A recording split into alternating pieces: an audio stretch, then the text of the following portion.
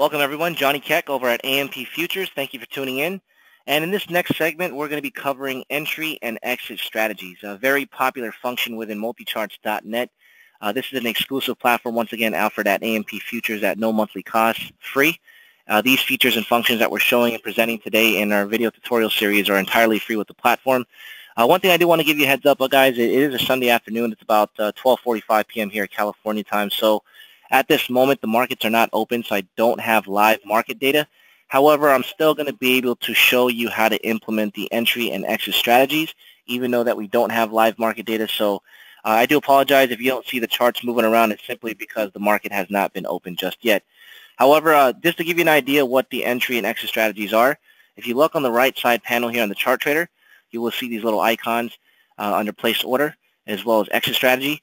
And entry and exit strategies basically give you the ability to automate your entries and automate your exits. So what that means, for example, uh, another basic example would be the breakout strategy. For entry strategy, if you're anticipating a breakout but you're unsure which way the market's going to break, so essentially what you're doing is you're placing a buy stop above the market price and a sell stop below the market price, uh, which are both entry orders. And if either one of those entry orders are filled, the other remaining entry order will automatically be canceled, which is what we call an OCO function, which stands for order cancels other.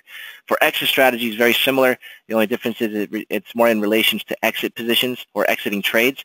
So if you have a bracket order where you can predefine a pre, pre um, a, a profit target as well as a stop loss.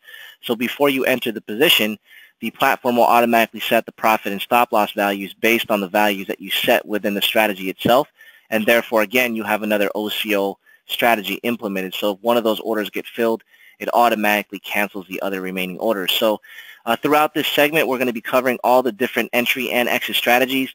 Uh, this is more about being efficient and being able to get those orders in quickly and not have to worry about going to cancel the other remaining order if either either one of those legs are filled.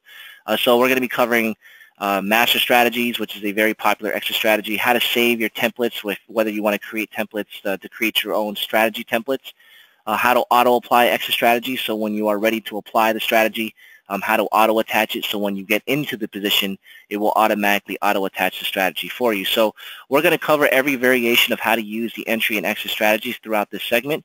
Uh, if you have any questions, again, we are a 24-hour support team. So if these video tutorials um, still are not able to help you understand exactly how to do and, and implement the strategies, uh, please give us a call. We are available 24 hours a day around the clock.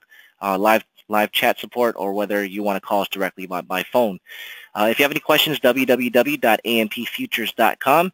Thank you very much, and we'll see you in the next segment.